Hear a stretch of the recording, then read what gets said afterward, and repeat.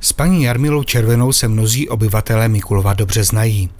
Dlouhé léta vyučovala také na Mikulovském gymnáziu, kde mimo jiné potkala bývalé studenty, kteří odešli do Rakouska a posléze se po převratu začali vracet do své rodné vesnice Dolní Dunajovice.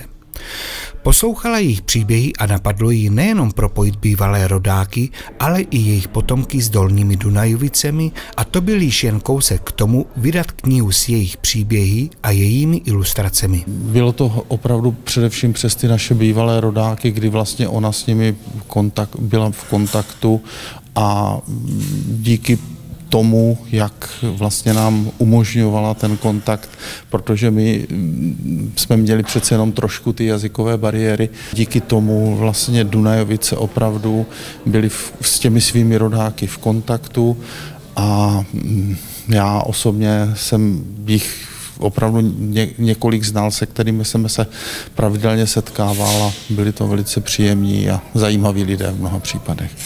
Právě o některých těch rodácích je taky i ta kniha, jsou tam prostě vzpomínky, jsou tam jejich uh, takové medailonky, takže myslím si, že právě proto je potřeba tu knihu tady vlastně prezentovat. Paní Červená tu knihu měla připravenou nebo začala nebo pracovala na ní už někdy kolem roku 2010-15. Poprvé nás informovala o tom, že na ní pracuje někdy kolem roku 2017, no ale postupně se to trošku odkládalo. No a nakonec, když kolem někdy v roce 2020 jsme se domluvili na tom, že teda ji finálně dokončíme, tak eh, se na tom paní Červená na tom začala pracovat, aby ji finalizovala. Nicméně tedy už, jí, už to nestihla, a, ale díky její vnučce, paní Olze Štafa, jsme dokončili tu knížku a můžeme ji teď tady prezentovat. Jaká byla paní Červená? tak to se těžko říká, protože to byla moje babička a samozřejmě uh, jsem ji velmi obdivovala, protože mě vlastně přivedla k výtvarnému umění už od mala. Vlastně jsem vyrůstala v tom takové výchově k lásce k výtvarnému umění, k lásce k umění obecně, k památkám. Zajímavý je tak její koncept co, proč, jak.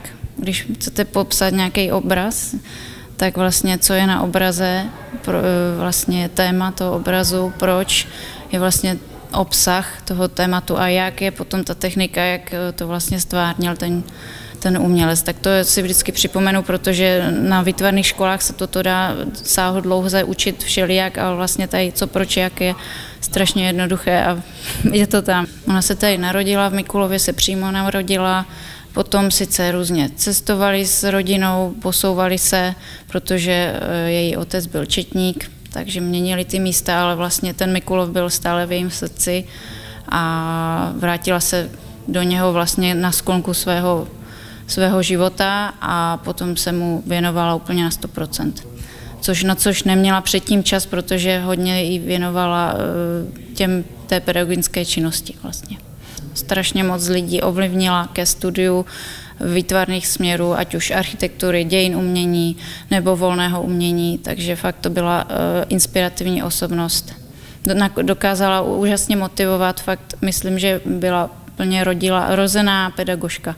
Na spolupráci s paní Červenou vzpomíná i starosta Dolní Dunajovic.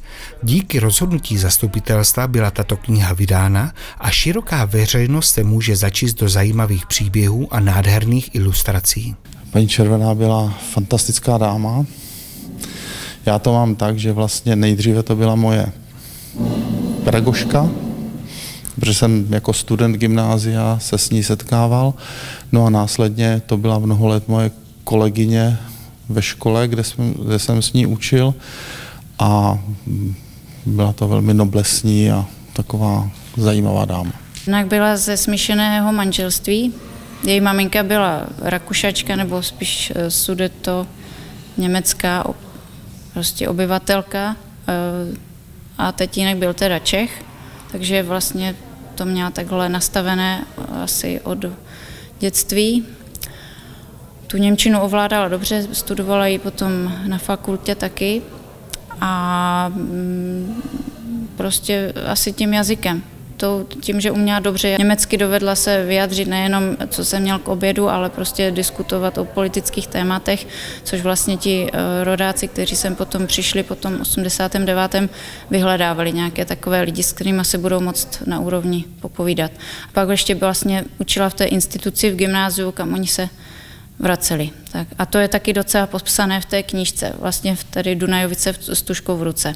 Při přípravě knihy k vydání bylo potřeba texty redakčně upravit čehož se ujala bohemistka a redaktorka magistr Zuzana Menšíková z Březí a historik magistr Josef Šuba z Dolních Dunajovic s neopomenutelnou pomocí grafičky magistry Olgy Štafa, která je vnučkou Jarmily Červené. Kniha byla pokřtěna a teď už nám chybí jen poslední informace, kde si tuto knihu můžeme zakoupit. Kniha bude v prodeji tady u nás, buď na obci nebo na infocentru, pokud bude otevřené a jsme dohodnuti ještě s Mikulovským infocentrem, že i tam bude k dispozici.